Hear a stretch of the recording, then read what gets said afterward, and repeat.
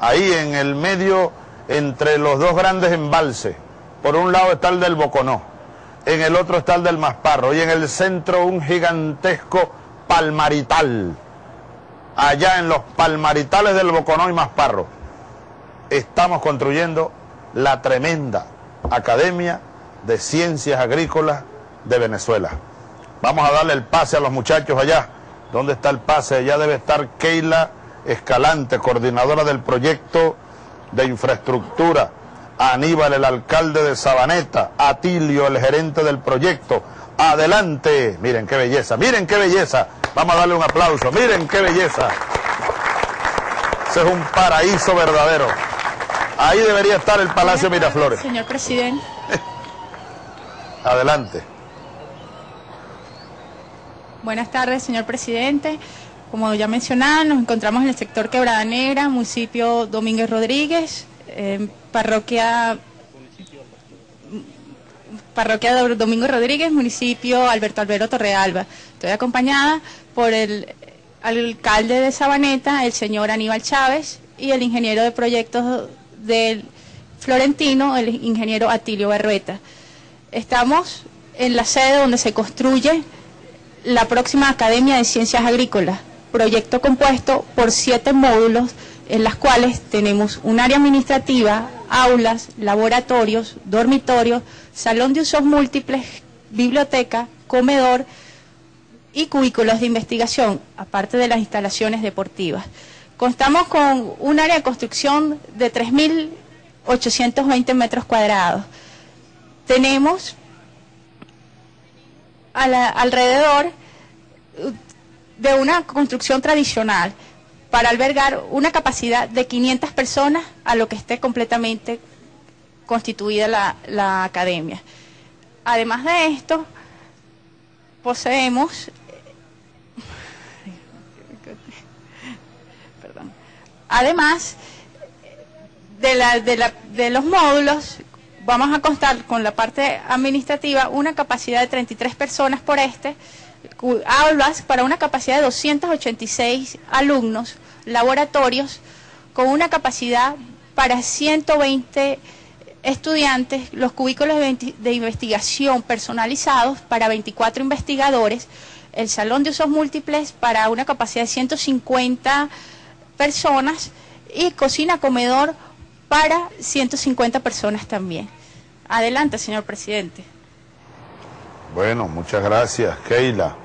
Estábamos viendo las imágenes de esa maravilla que está allí en Quebrada Negra. Aprovecho para saludar a todos los habitantes de Quebrada Negra y toda esa montaña, mm, donde sé, sé que está respirándose. Allá está el embalse, mira, y los palmaritales. Mira cómo está Quebrada Negra, ¿Dónde estará mi niña, mi ahijada?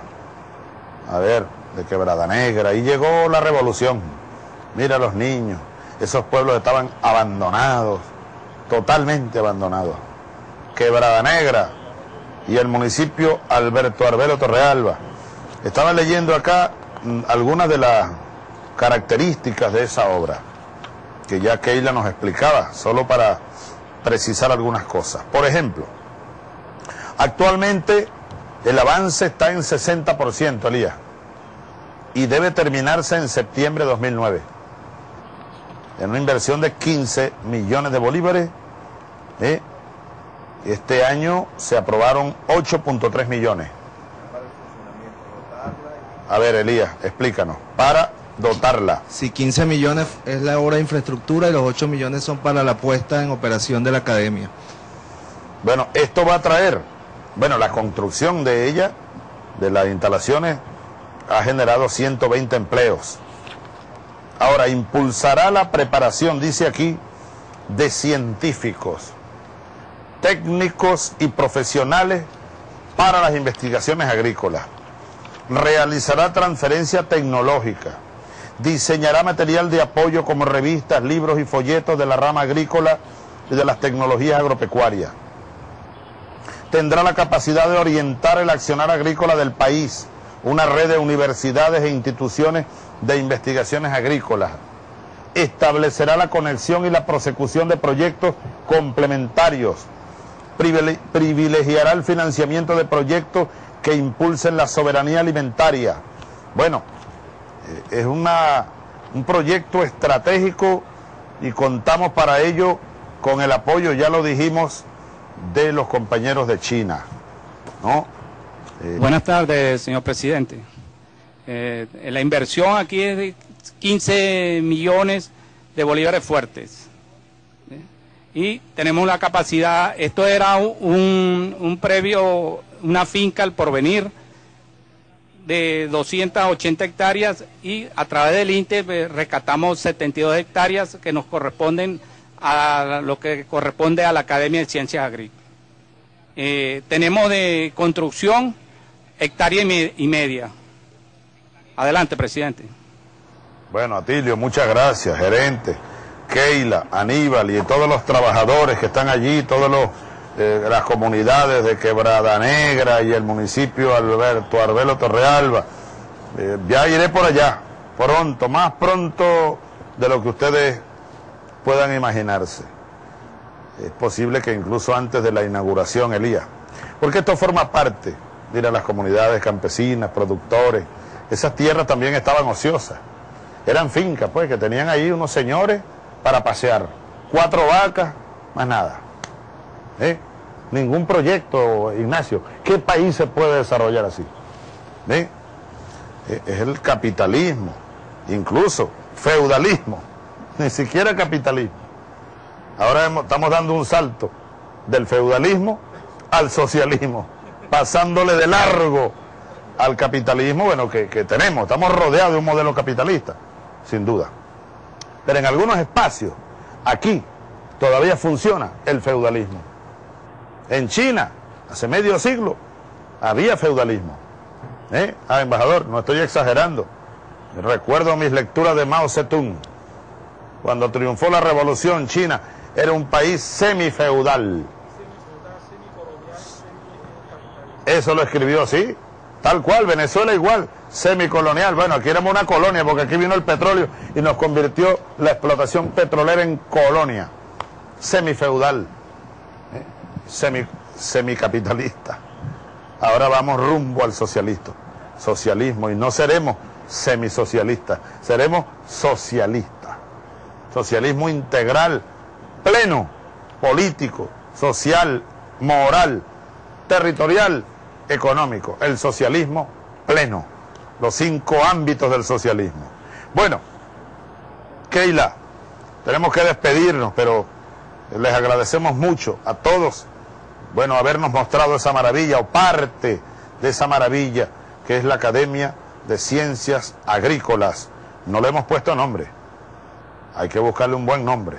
Academia de Ciencias Agrícolas de Venezuela, allá en el municipio Alberto Arbelo. ¿Por qué no nos muestran para despedirnos una de las más bellas imágenes del día de hoy? Allá. Miren, el embalse de, ese es el embalse del Boconó. Del Boconó y está el Masparro al lado. Y lo que yo les dije, miren, el centro, los palmaritales por ahí va a pasar la carretera que va hacia Boconó. Vámonos pa' Boconó, vámonos montaña arriba. De ahí se ve la montaña. Esa es, una planicie que está ahí maravillosa, una gran esplanada. Y unos pueblos, más arriba están los límites de Barinas con Trujillo y con Mérida, el pie de monte. Es una zona maravillosa. Dije hace un rato, Ahí debería estar Miraflores. Pero como la historia no se puede escribir hacia atrás, está en Caracas. Mira, qué maravilla. Ah, un aplauso pues para este proyecto. Academia de Ciencias Agrícolas. Nos despedimos de ustedes muchachos, saludos. Espero visitarlos pronto. Por allá por Quebrada y todos esos pueblos. Y más abajo está, bueno, Veguita el núcleo endógeno, perdón, el centro productivo florentino. Es muy importante la ubicación de nuestra academia. Fíjense ustedes, aquí están, aquí se ven los dos embalses. Aquí, en el centro, entre ambos, está la academia. aquí mismo está el Centro Productivo Florentino Socialista. Y recordemos, aquí está Boconó, vamos a conectar Boconó con una carretera por acá. Y aquí estamos ya, Adán, está avanzando el proyecto, va a quedar como una autopista, ¿no? La carretera desde Boconoito hasta Puerto Nutria. El eje de desarrollo aquí, todo este eje. La academia va a tener influencia sobre todo este proyecto, bueno, y, el de acá del Santo Domingo el, el, sistema de riego del Santo Domingo que está por acá y el proyecto hasta el río Apure. Es muy importante la ubicación de nuestra Academia de Ciencias Agrícolas que avanza con todo éxito.